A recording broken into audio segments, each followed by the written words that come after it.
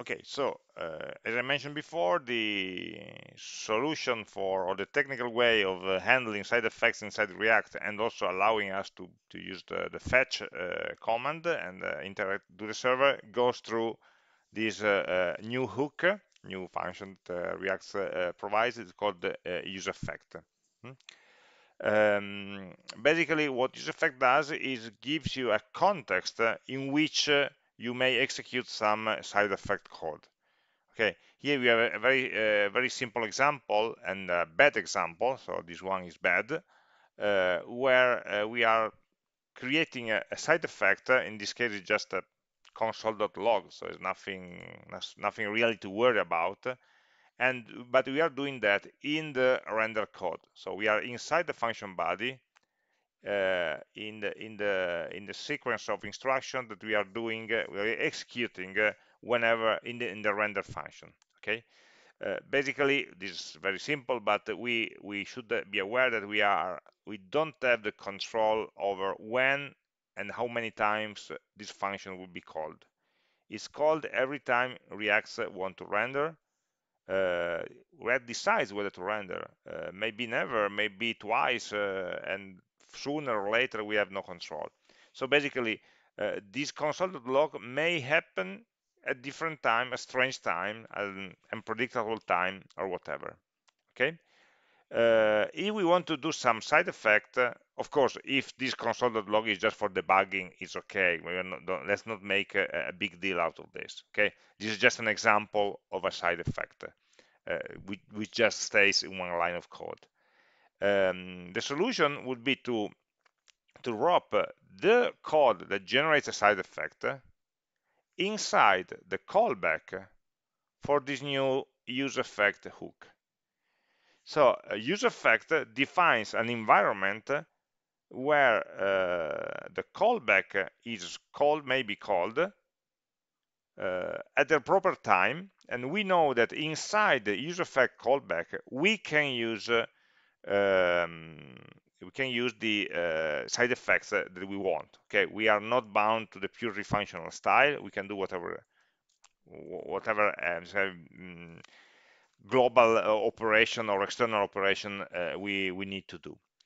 And uh, the execution of these uh, hooks doesn't depend on the rendering of, of React. Okay, but it depends on the logic of this hook then basically there's the second argument that we are going to study that uh, helps us to, the, to decide or to tell React when we want this code to, to, to execute. So we are in control of when that uh, code will be executed. Okay. Um, practically, this example, we, we can try to implement this example is very, just two lines or, or whatever in our examples.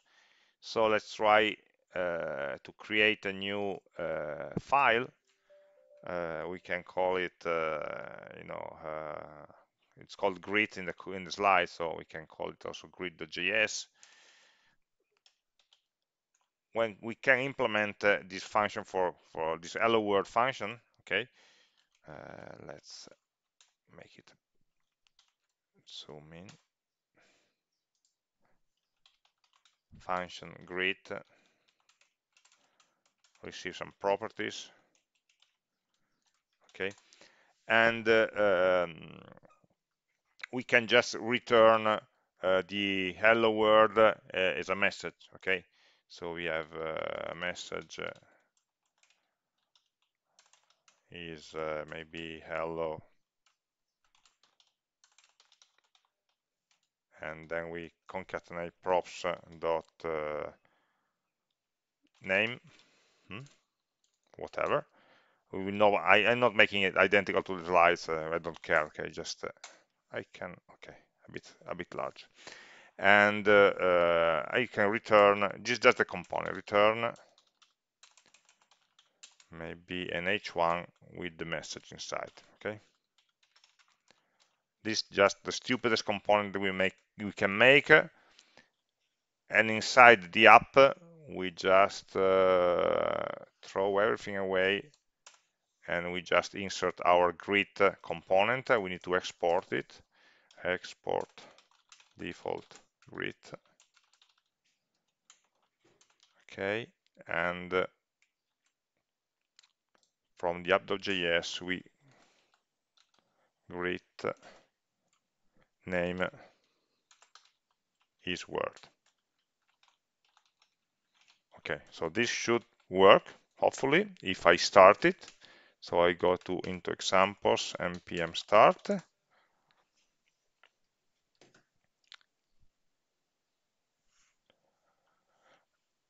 And uh, we are not surprised to see that uh,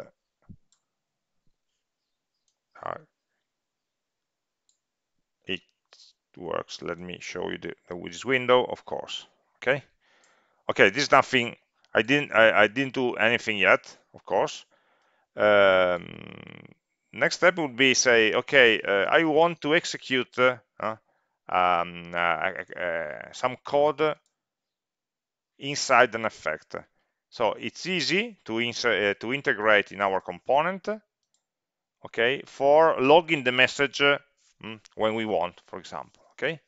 So uh, we can add the use effect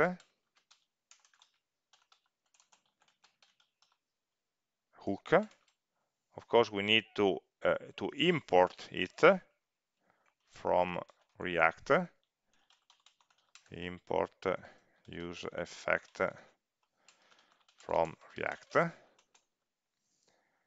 Like we normally import use state is the same okay and uh, the first parameter use effect has two parameters the first one is the callback where uh, we can execute our code so in this case it would be for example console.log uh, of the message. In, even if we are inside um, a callback, we can use the closure to access this message, for example. Uh, for the moment, we don't have. Uh, we, we, want to write a, a, second parameter. We'll see in a moment what uh, what it means. Okay. So right now, there's no uh, much difference uh, from the previous version. If we reload the application, let's go into let's open the console if we reload the application we see that uh, we have the hello world message here in the console no? that has been printed so this shows that the callback has been called. Uh, and uh, I, I'm adding it will be called every time uh, the component uh, will re-render. Okay so right now uh, it's not a big uh, deal it's not a big change. We just isolated some side effects code inside a use effect hook. Okay that will um, execute it outside the rendering cycle. Uh, to show it for example we can if I add another console.log here here okay and here, I run the application I see that here is printed before hello world is because here is printed during the uh, render code. And after the render code after this uh, uh, JSX has been mapped into the DOM of this page then only then the hook will be executed. When uh, all the rendering is completed and so when um, uh, we are sure that we have a final DOM and uh, uh, all the functional part has already done its own propagation of events and so on okay?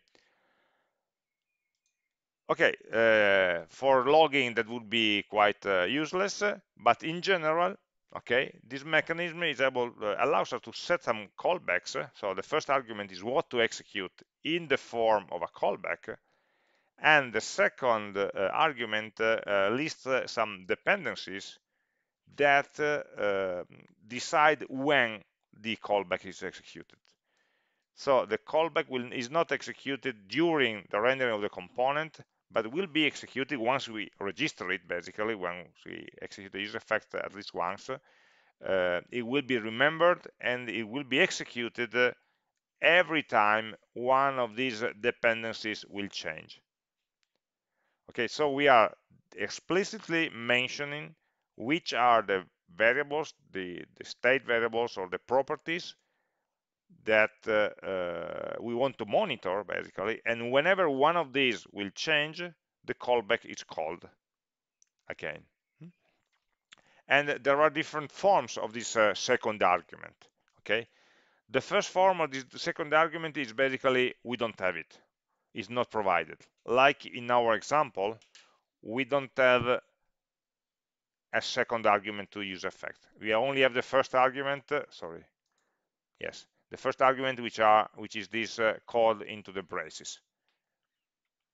We don't have the second argument and this means uh, that the side effect runs uh, after ever every render. Okay? Every time the component renders because React uh, decides uh, to, to render it uh, most likely because a prop has changed or state has changed or more than one state or more than one prop have changed and so on then um, at the end of the render cycle, so remember the life cycle, after all the rendering, uh, we will call uh, this function every time, okay? Because maybe something we need to do to to, uh, to update some, some output anyway. Hmm? Um, the second form, we have uh, an empty array, okay? We can provide a second argument an empty array. And this is the opposite. Uh, in this case, we are telling that there are some dependencies that decide when the effect should run, and these dependencies are none. So the list of dependencies is empty. This means that uh, the uh, side effect is never run, okay, because it runs only when some dependencies change but I don't list any dependencies. So it will never run except once, except once after, at the mounting type. So this means I only run when the component is mounted. Only once in the whole component lifecycle. Then, of course, if the component is unmounted and the new one uh, will be mounted again, it will run again in the new component, of course. But uh, in the lifecycle of a single component, an effect with an empty dependency list will be run exactly once. Exactly once. This is a guarantee. It doesn't depend on, on the rendering of React or, or whatever. Okay, so uh, forgetting, omitting the second argument means uh, always. Okay, not provided means always. At every render.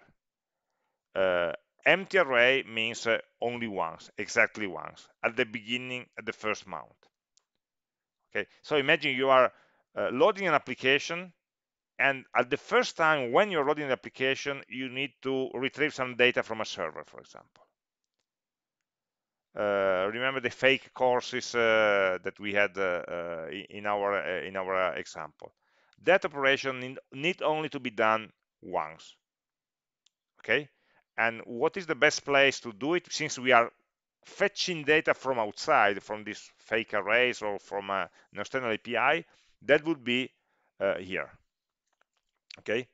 Uh, in a in an effect in a side effect that is run only once at mount time we must be careful uh, of the code that we are using inside here because if we are using some props, for example, in this code, uh, then the value that we see here is only the value, the initial value of the properties. Or if you're using, if you're using some state here, it will be only the initial value of this property, of this state variable. Uh, and if the props change and uh, or the state changes, uh, uh this effect will not be called again and so will not be updated basically with the new information. Okay? So usually when we do this at mount time uh, we tend uh, for sure not to use the state that will change. Maybe we set the state. We can set some state uh, with an initial value which is uh, determined from some extra source instead of uh, uh, the initial value that we can provide with the use state uh, that must be a constant there okay? Um, uh, okay. We will see we see this uh, of course in the examples. And uh, these are just the, the syntax now we're just uh, reading together the syntax. The third uh, option is to provide actually as a second argument of the use effect hook uh, an array that contains uh, many variable names.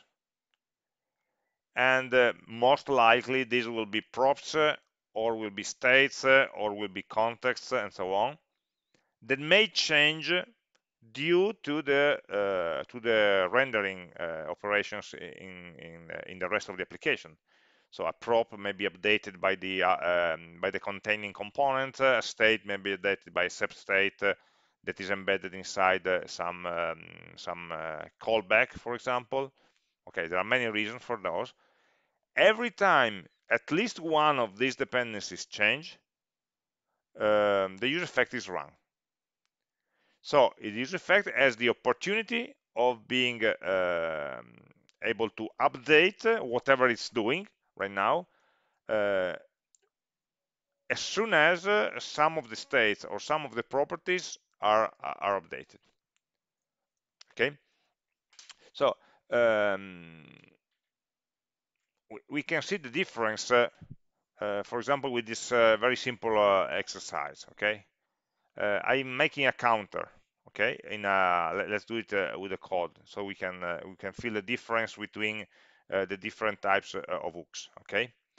So let's, in our application, um, let's implement a counter, okay? So I have very count.js file function count props let's assume we are showing just a count a number okay return uh, maybe h2 uh, props dot number hmm? a, stupid component like this okay uh, and in the application code, we can define uh, some uh, uh, logic for incrementing this counter. Let's let's do it directly in the application. Uh, so maybe we can have a, a state const uh, number set number is a use state with the initial value of uh, no, 3 okay? Because 3 is the perfect number. Uh, it's not defined uh, yeah import use state from react. Thank you for not doing it yourself.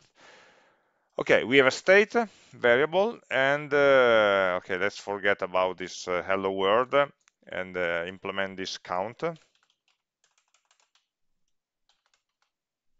Count a number equal to number.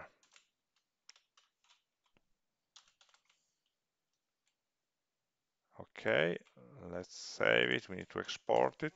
Export default count. And we go back to the application because we need to import it. Import count from count.js JS is implicit. Export default count. Okay. So, very simple. We go to the application. We need to reload it. Default is not a function. What did I write?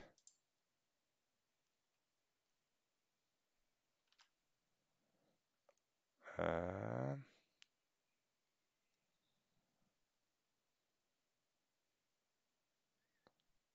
What are you telling to try to tell me? Webpack imported default is not defined. here const use state 3 the arrow should be here. Import count. Count count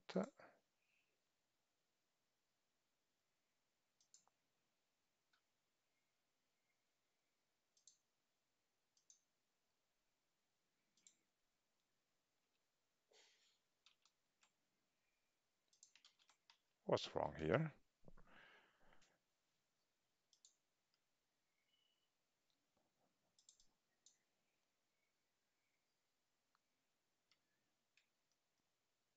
State?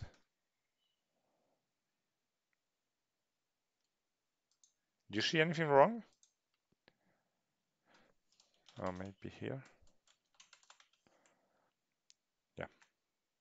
Okay it's the importing of state uh, because uh, I was importing the whole library React and calling it useState instead of importing the property useState inside uh, the React function. Okay, so here we go. So we have, we have a very simple app uh, which is calling a component uh, count that displays a state number, and this case is three. And uh, okay. Um, we can, okay, I'll get rid of some of the errors by, by reloading them. Okay, now let's see what happens in, dif in different types uh, of, uh, with different types of hooks uh, that we put inside the count. So we may have uh, one first hook, uh, effect that runs without the second parameter. So I have a callback that says uh, console.log uh, without a second parameter um, it's, it's the always form. Always. And we add the nine props the number. Okay. Then we can see the same use effect with the empty array and we call it uh, once.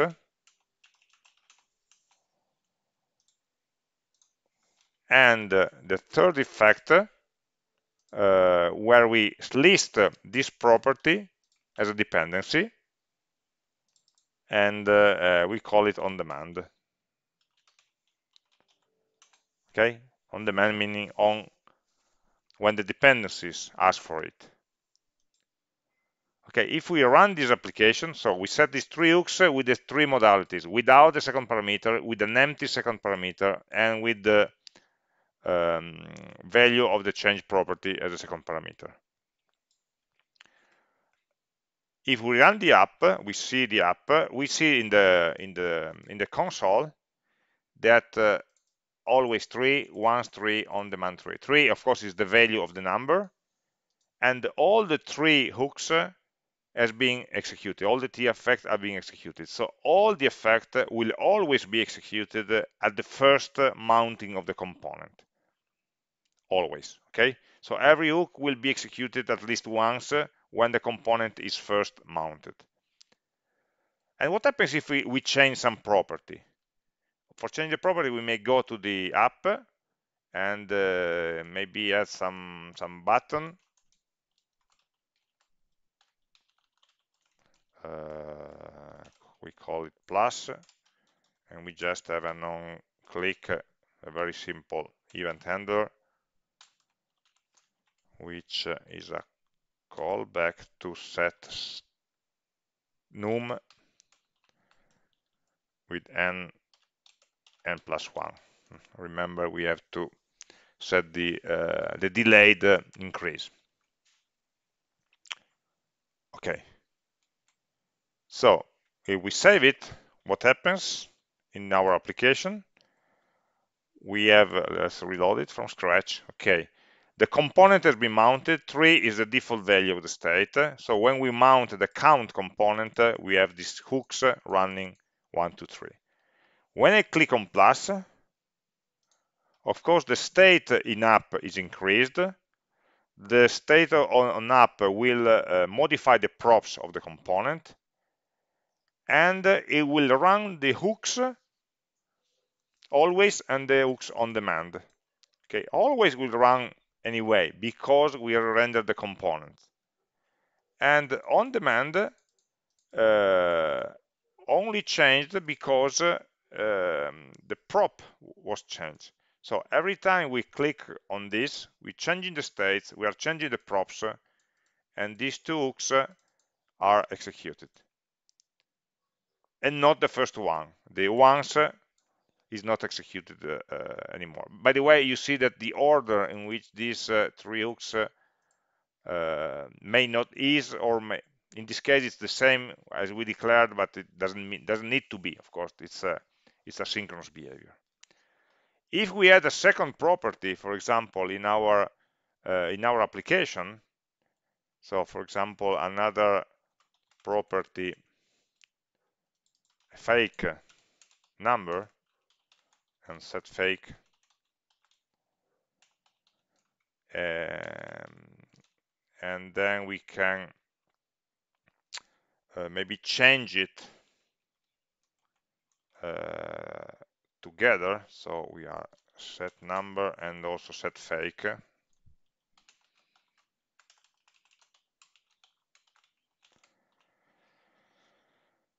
Uh, no let's change it. Let's let's try to change only only the fake one. Okay so we start with three and we are passing the face the fake uh, the two properties number and fake so i'm passing a second property to the component that is not used on the component itself. Uh, there's uh, an extra. Uh, okay. Okay, I had an extra parenthesis like this. No. Uh, oops. So let me count the parentheses. Uh, set fake like this. Okay. So in this case, we have the same button, 333. If I click, you see that the tree doesn't change, but uh, the uh, always is executed more than once. Then the, the console just collapses them by saying, okay, four means there are four identical lines like this. So in this case, uh, even if we are,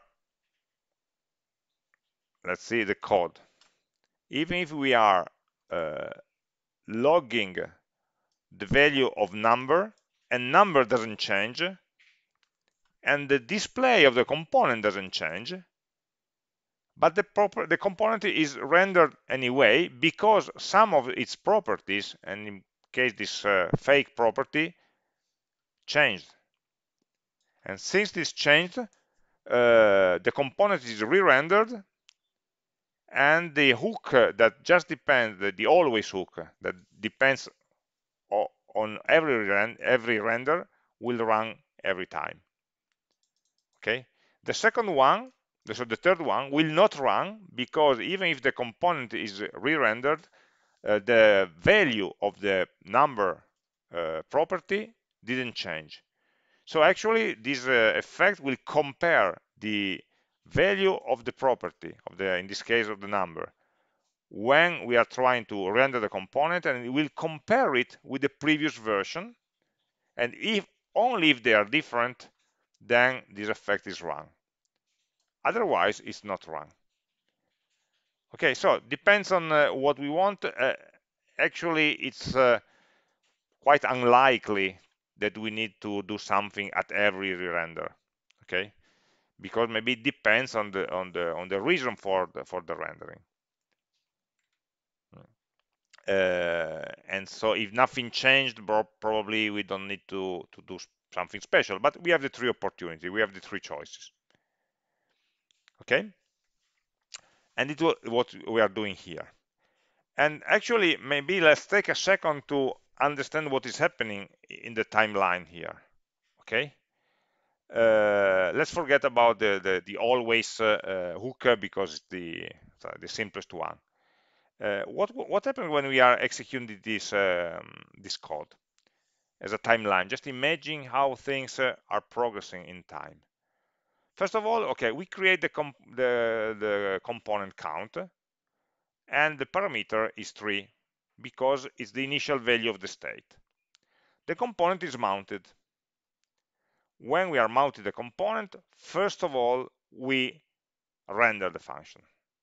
So rendering means executing the body of the function and it finishes with the returning the JSX that contains 3. So this is the first run of the function. We are running the code here, we call it render. And basically the render is just here in this component. It's just this return because it's so simple. But we are executing the function. Um, render. Let's make it right in a readable way. Render okay while we're rendering this function we find these use effect calls and so we are registering these effects so we are saving the callbacks somewhere we are not executing them right now because we are in the rendering phase. We are just saying, okay, this function needs, this component needs some effects. Then the render is finished and we go to the commit phase. In the commit phase, we are running the effects that needs to be run, of course, not all of them, only those that, need, that needs to be run. And in particular, the component was just mounted, and so it means that we run all effects. The first one, and the second one. All of them. At the first mounting, we always run the all effects at the in the first commit phase, after the first render phase. Okay, and then the application is still. The user clicks, uh, the um, callback is activated, the application updates the state, the state is updated, uh, uh, remember that from the click of the user to the uh, run of the callback, from the run of the callback to the update of the state, uh, and from the update of the state to the update of the number property, uh, everything happens asynchronously, okay? So uh, the user clicks, it will schedule the callback, and when the callback runs, it will schedule the set number, and when the set number runs, it will uh, uh, schedule the state update and when the state is updated also the properties are updated and uh, the component finally will be re-rendered so we have a second render stage triggered by the update of the number that follows a sequence of asynchronous events okay it all happens mm, we are accustomed to that uh, we see that it all happens uh, instantaneously, but actually there are separate events, several sep separate callbacks that happen in, in sequence. The final result is that num changes, and so the component is re-rendered. So we have a render one and a render two. In this re-rendering, the use effects are ignored because we already have uh, uh, registered them the first time. Uh, we return the JSX, and then uh, then we run the commit phase. And in the commit phase the second commit phase we are checking the preconditions for the uh, the effects and say okay um, did any of the variables inside this bracket change no there are none so basically we don't need to run it did any of the variables inside these brackets change yes this one changed. So we need to run the second effect. Hmm? That's the logic of use effect. Uh, just remember, first we render, then we commit. And this was easy, this example was easy because uh, the only change that we had here is uh, uh changing the state, sorry, the properties. Somebody outside from outside changed my props and so I need to uh, the component is re-rendered and uh, the hook the hook that depended on that specific property that was changed of course was uh, executed. Okay? That was easy uh, it's more complex when the only the thing that changes are not uh, just uh, um, properties but uh, also state. Because of course the rendering can be triggered not uh, by not just by properties but also by state changes. And so what happens here? Hmm? Think of at the timeline.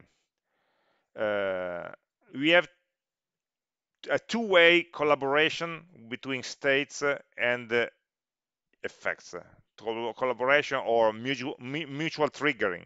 Hmm? the simplest case is when a state variable is listed as a dependency. So we have a state n which is a state variable which is listed as a dependency in an effect declaration.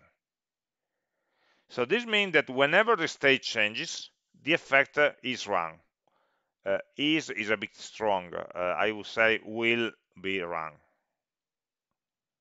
Okay, because the state changes now, and after the state changes, uh, I need to re-render the component, and after the render phase, I will have a commit phase for that component where the effect will be run. Okay, so when, when we have a, uh, if a, a, an effect depends on n, we will have a set n method that will set a new value that will uh, change the value of n, that will trigger the a new um, render phase, that after that will trigger a new commit phase, and in this commit phase we will realize that n has changed, and so we run the effect. Okay, so uh, the effect is run is a statement that says for sure it will be run, but it's not run right now immediately. Okay. If the state is updated, so we have a set n with the by chance the same value as before, so the, the value of the state doesn't change, we have the update uh, functionality, set n, will update n, but then the procedure will stop here because if the state value didn't change, not the content of the state, there's no need to re-render, and so therefore there's also no need to go to a commit phase in which in any case it will find n uh, unmodified and uh, it will not uh, execute the effect. Okay? So this is the easy part. Whenever we change a state variable and where can we stand, uh, change a state variable? Inside a call a callback uh, a non-click callback for example or a user effect. Inside an effect of course we can schedule a state change uh, uh, we say that we cannot execute side effect inside the render phase. But we didn't say anything about the commit phase. In the commit phase, we can do whatever we want. Side effects, state changes, props change, whatever. There are no limitations anymore, okay? Uh, of course, if you change the state, you need to use it with the set function, not just changing the variable, okay? But already we know this. The other, and the other way, of, of course, uh, like we are saying, inside the use effect function, we may schedule a state update. So this uh, state update uh, may, from a callback, for example, may trigger an effect. Or also inside an effect, we may trigger a state update. And of course, the state update will be updated asynchronously after the execution of the effect. So we execute the effect. After that, the set state uh, callback will be executed, the state will be changed, the component will be re-rendered if the value is different from before, and the effect or effects, plural, that depend on that specific state will be run in the next uh, uh, commit phase. Hmm? Just be aware to avoid infinite loops, because if you are modifying a state variable inside an event that depends on that very same uh, variable, you are uh, entering an infinite modification loop. So you can usually set a state uh, which is different from the state that you are depending on. Okay, so we are we try to mix the two together, and uh, uh, for for testing them, I I will do a open a, a, another example. Uh, I call it uh, a, a, quick gate. Okay, let's design a gate. Okay, a gate that uh, is normally closed.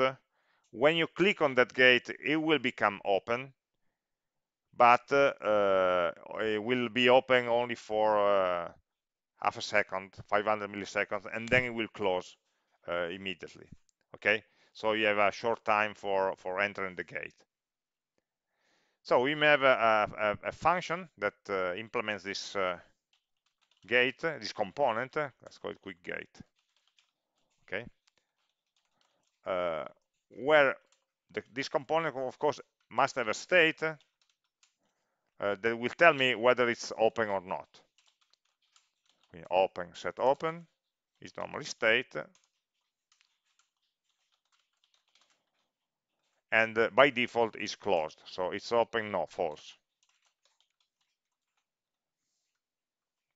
And we import use state from react. Right? So uh, again it's a very simple component where uh, we can return a simple div maybe with a with a, a, text that says whether the gate is open or closed okay? So whether it's open then we write uh, that is open. And otherwise we write that it's closed.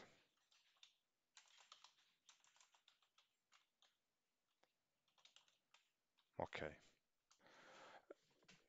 uh, was uh, okay closing brace.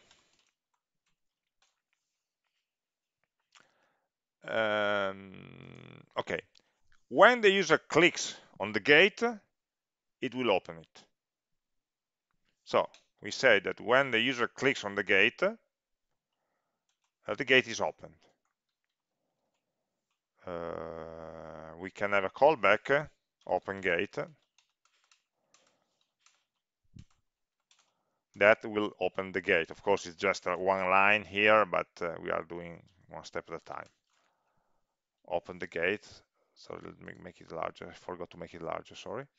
Um, open the gate. Uh, we'll just set open to true.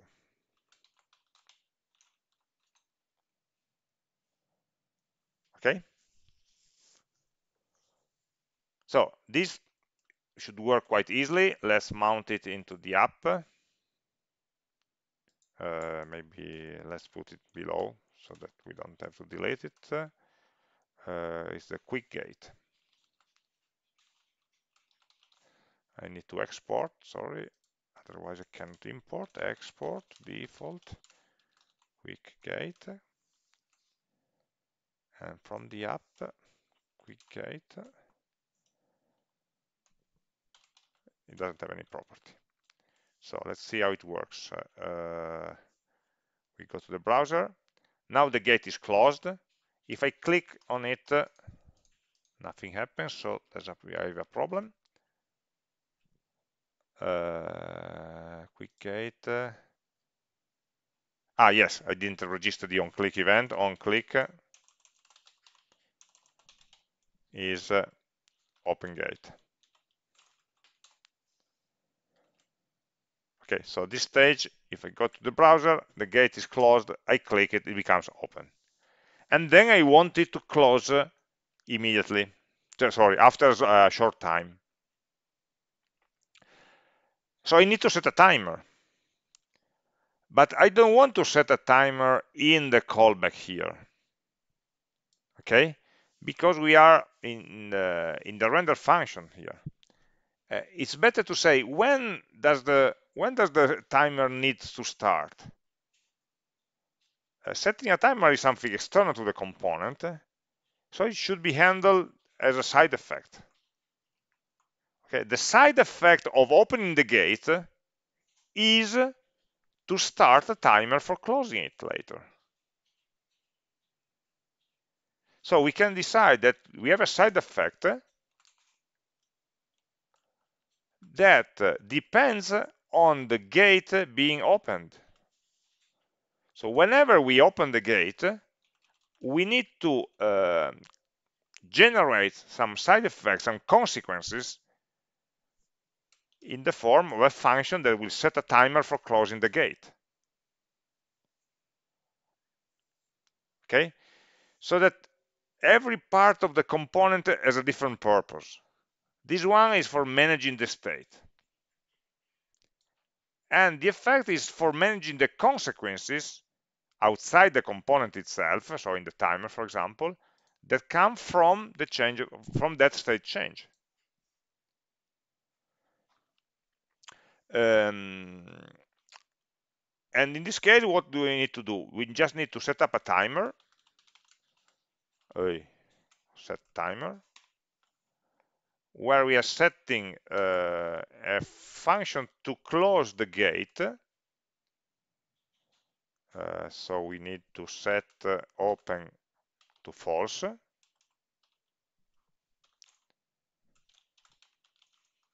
when after 500 milliseconds.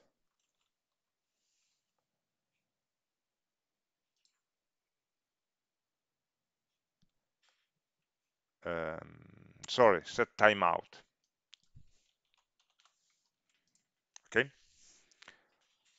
So when the open state changes, I will set a timeout that after 500 milliseconds will call set open, will change the state again. I need to close the gate. The only way to close the gate is to change the state of the gate itself. I cannot modify the component, the DOM or whatever. Okay, so the effects communicate with the external world through the state. They depend on state changes and they can create or cause state changes. Okay, if we try it, it's closed, we click on closed, it becomes open, and after a while, it will close again automatically okay every time we click on it it will set every time not not we click every time it changes it will be set again it will be executed again hmm. uh, we still have a, a, a, little problem here because this effect will run both when we open and when we close the gate okay because uh, every time open changes from false to true but also from true to false, uh, this effect will be executed. Okay. Um, so try to avoid doing something like uh, state uh, not state because you will crash your application in an infinite loop by itself. I'm not I'm not doing anything because whenever it will uh, it's uh, it's brought to to false then it will uh, again become true and will set uh, a timeout for making it uh, false again and that will set up uh, and, and another timer and so on. Okay? So always try to avoid modifying a state that from which you are depending. Okay?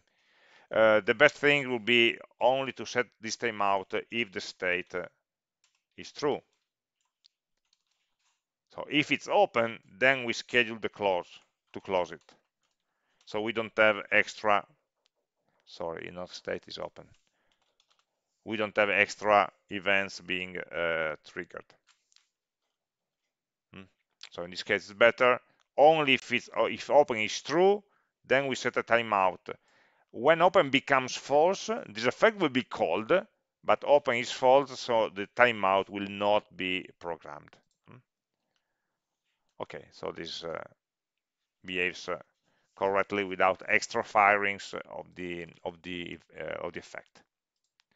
So uh, modifications of the state and modifications of, of, and running of the event play well together. We just need to remember, okay, to use the dependencies and to use the set uh, um, sets uh, on the state in the in the correct way. And remember, everything that needs to be to to, to create some side effects uh, needs to be inside the use effect if we uh, consider this uh, in this example, let's try to think about a bit about uh, the timeline of what happens. Okay, uh, in this example, that is the same as uh, we developed together. The component is first created and mounted. Okay, we know that. And then we have a render function. Quick gate is called until the JSX is returned. This is the render phase, the first render phase. Uh, in the first time, uh, time, we find the use state, and so we create a state variable, we find use effect, and we register the side effect function. The state uh, is assigned the default value, and the use effect is not executed. Then we have the commit phase. In the commit phase, we are running uh, the effects all the effects because it's the first commit. Hmm. It's the first one, so we always run it. This is the version without the if, so it will set a timeout. Mm, a very stupid one because the state is already false and we are setting, we are scheduling to set it false. So it will not have many consequences, but the timeout will be set. Uh, and this now some time passes, so the timeout is set, nothing happens when the timeout expires, so this is an extra some external event, is not inside the rendering or inside the commit. When the timeout expires, then the callback for the timeout is called, and set open is executed. So this part is the uh, timeout, timeout execution here that will schedule a state change as a consequence and the state becomes false. It was already false, and so nothing happens. Then we wait some time, and so all of this happens uh, automatically at, at, the first render. So you maybe you didn't think about this part, but it will run. It doesn't have any consequences, but it, of course it will slow down the application if you want. Then uh, user clicks, it creates a new event, and this is the consequence of the user click. So we are uh, we are in the callback, and we execute the callback. The callback will try will schedule a state change. After the callback, the state change will be executed. So we are all in the callbacks here of the events. We are processing the events, and uh, since the state changed, become true after this set open by the callback, then we enter a new render phase. Uh, again, we render the JSX with the new version. Right now it's open. And we evaluate in the commit phase, we evaluate uh, the effects. In this case, this, this, effect depends on open. Open was uh, false the last time I saw it, but now it's true.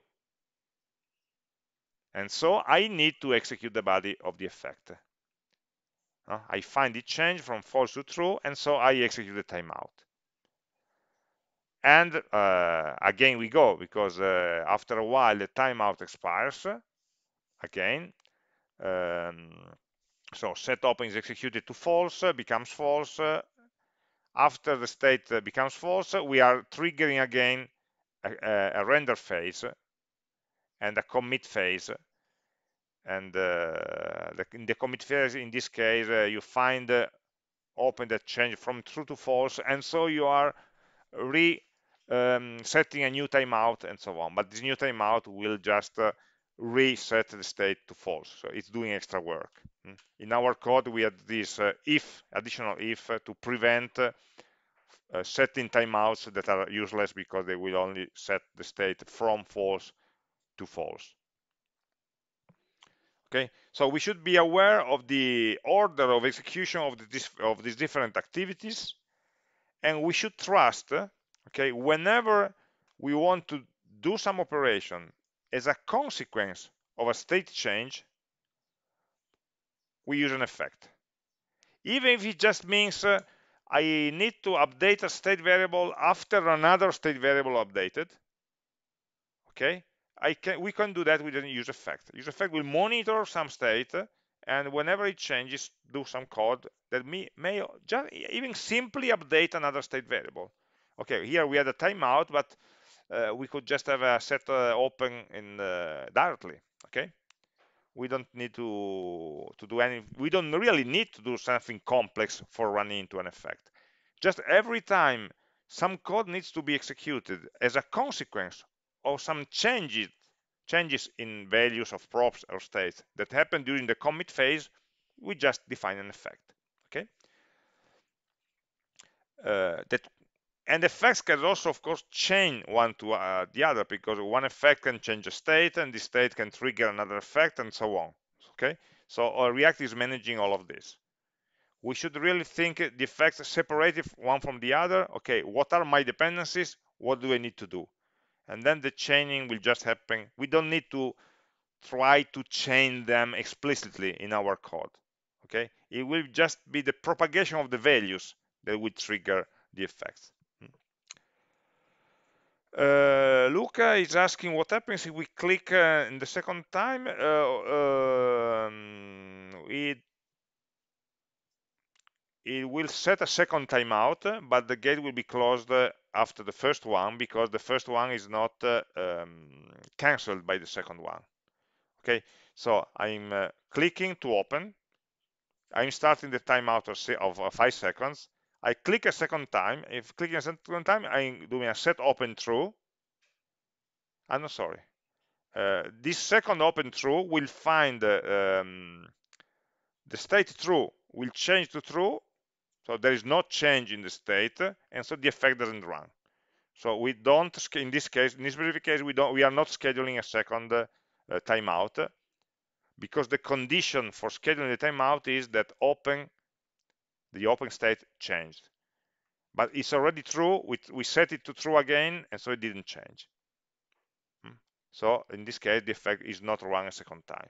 If instead of a boolean we had an, uh, an, um, uh, an integer number that we increment, we would have set a second timeout, of course.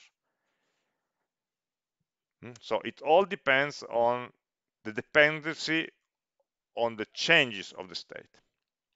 Okay.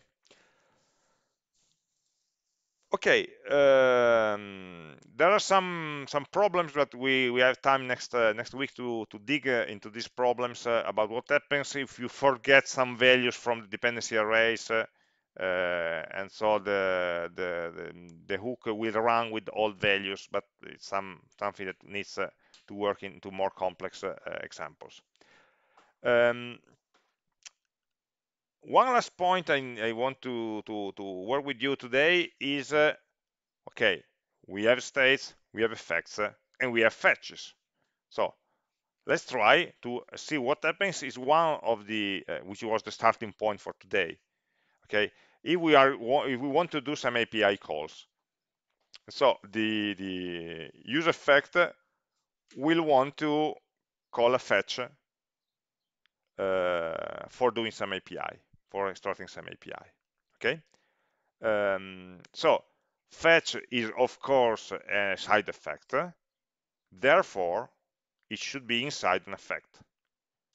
And we should understand when we want to fetch it uh, by setting some dependencies that will trigger the execution of the effect and that uh, will uh, call the function itself.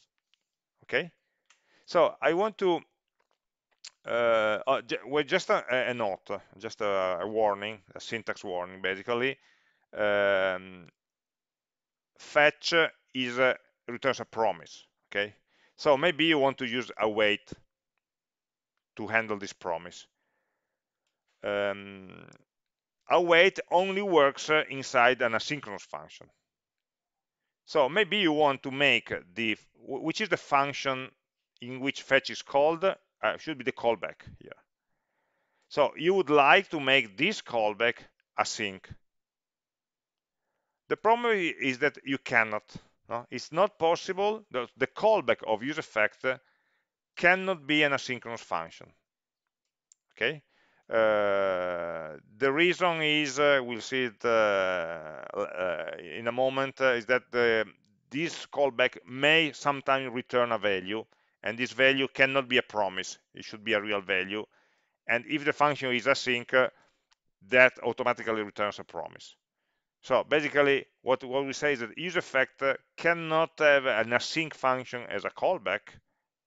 And so if you want to have some async code you define your own function and then call it synchronously.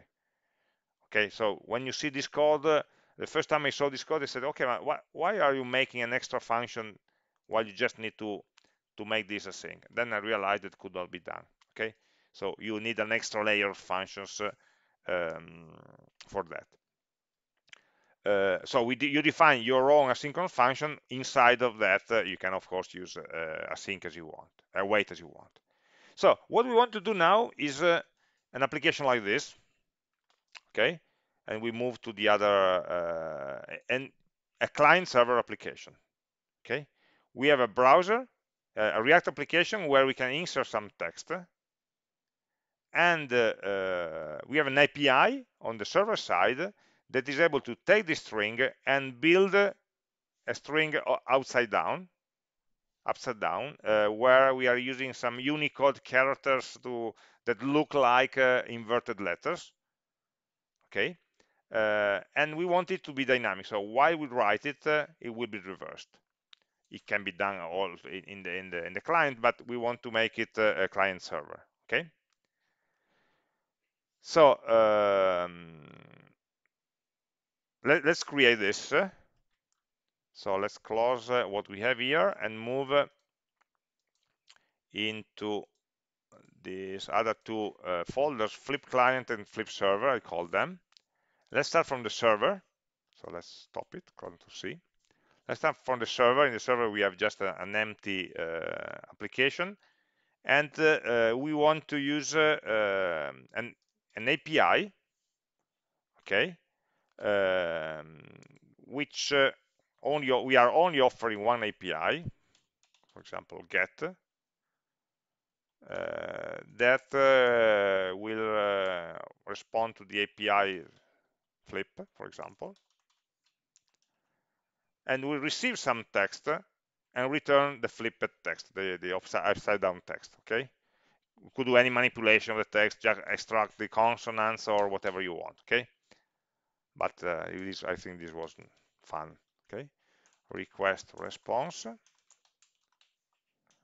Um, and so I should extract the text from the request. Let's assume we are sending it uh, in the in the query text. So it will be flip question mark uh, text equal to whatever. So we may have an API with get API flip question mark text equal abc okay and it will return a JSON uh, with uh, something like text the reverse of ABC so it's something like uh, some strange characters where ABC is reversed, okay? Not text, sorry, with the S, with the X. Okay, this is what we are trying to implement. So we extract the text from the request, request.query.text, and we flip it. Uh, for flipping it, uh, I was lazy, and so I, was I found uh, in the flip server cd flip server uh, a library which is called flip so npm install flip flip text hmm? so so with this flip text library that I called that I found okay because I was too lazy to make it myself we can const flip equal require flip text uh, we can just uh, compute the flipped text by calling the flip function. Hmm? And then we can return return uh, response.json an object uh, with um, text the sorry yes text equal to flipped. Okay. So this is just the server. If I uh, run it so let me split the terminal uh, nodemon server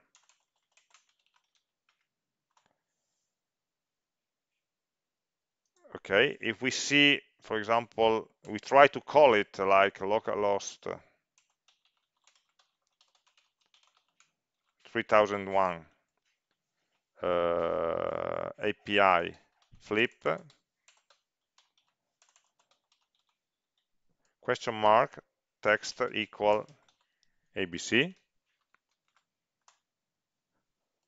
it will give me an error probably. Flipped is not defined. Okay flipped with the L. Save. Okay so let's try it again. Okay you see it here?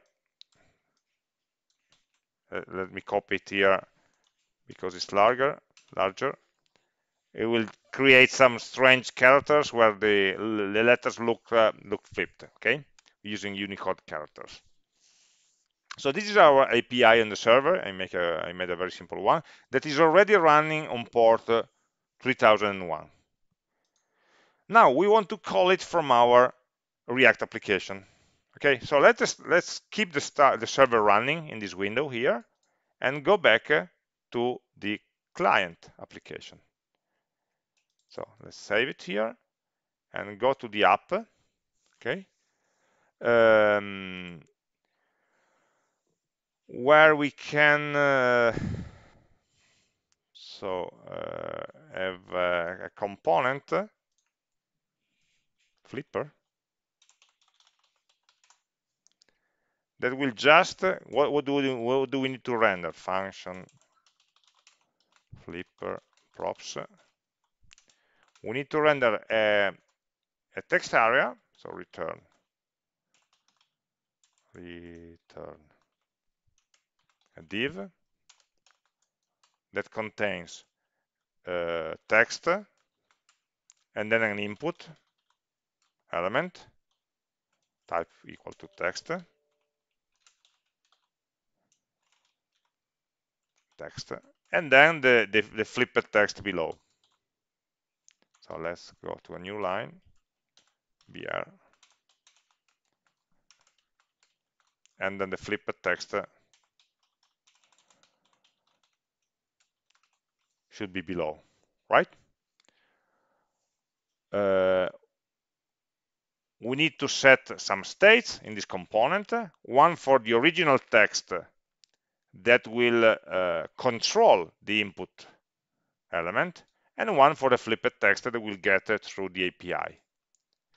So we have const Э, text use text set text is a use state that we start empty.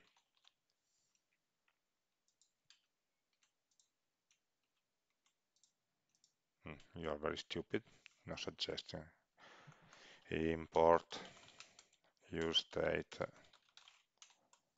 from react from sorry. Okay. And the second state for the flipped text. Flipped. Set flipped.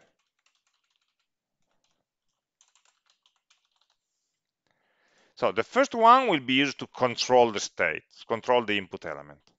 So we have the control over uh, value equal to text. And of course, for controlling the element, uh, we need to have an onChange handler that will set the text, update the state. So we already know how to do that. Event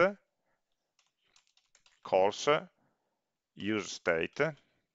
So sorry, set state, set text of event target dot value. This is what we would normally do with input elements. And the flipped, of course, will be just uh, the, the state flipped. So if we import this into the app,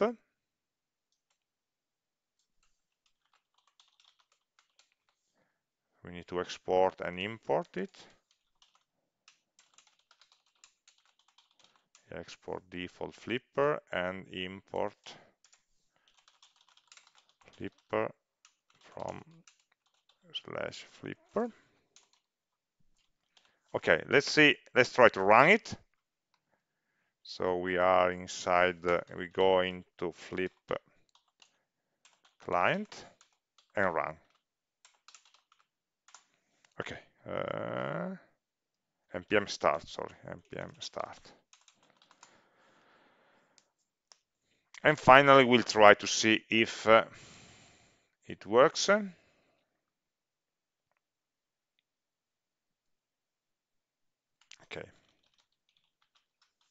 Okay, this is just the, the client portion. Okay, now let's connect together the two.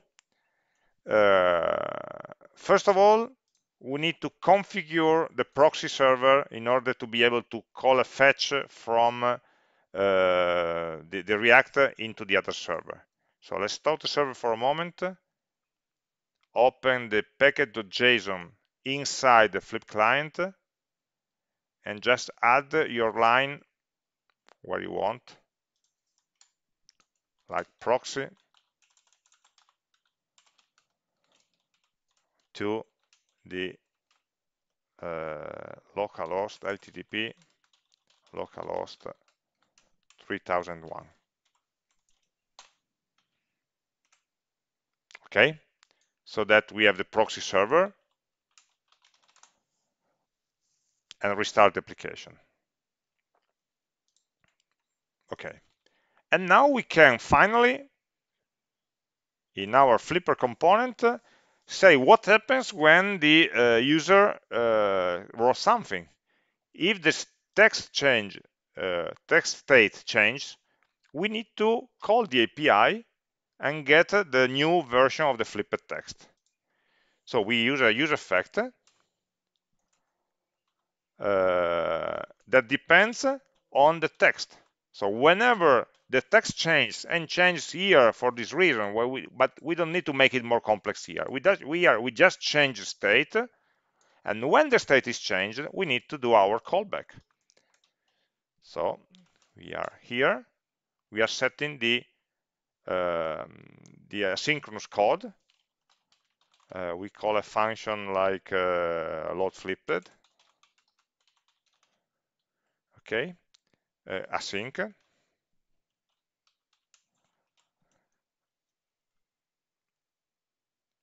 And in this function, what we do is just to call the fetch, the flipped text, const flipped equal to um, fetch.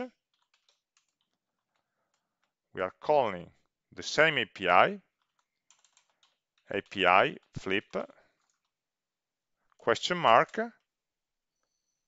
uh, text equal and we concatenate just the text state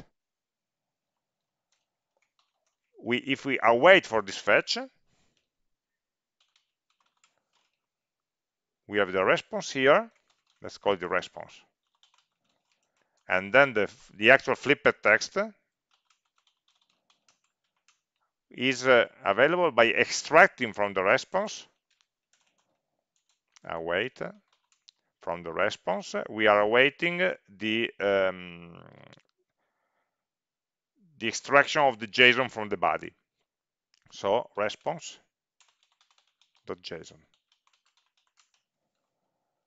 At this point, flipped will be an object that we can use to set this, oh, not, let's not call it flipped, uh, flipped text. And so we can update the state, set flipped, to our flipped text. This function, this is just a function definition, so we need to call it here, load flipped.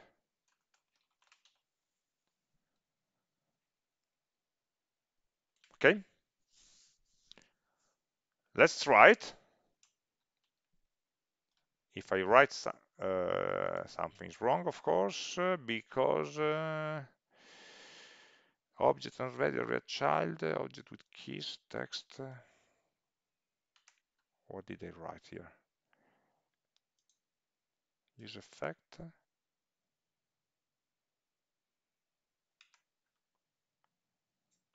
Here, line 13, what did you set flipped, uh, flip text?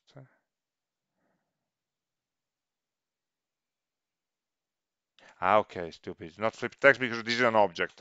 You have text property. We need to extract the string from that. Okay. ABC. ABC, you see that uh, it's working.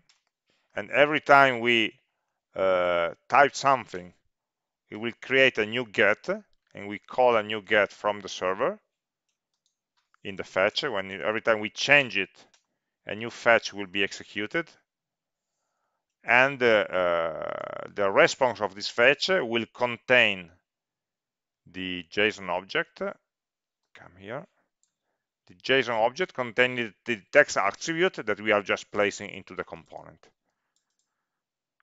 okay so we are putting together the change in the in the text input uh, and uh, with the API we are computing a new value that we are just integrating into the component.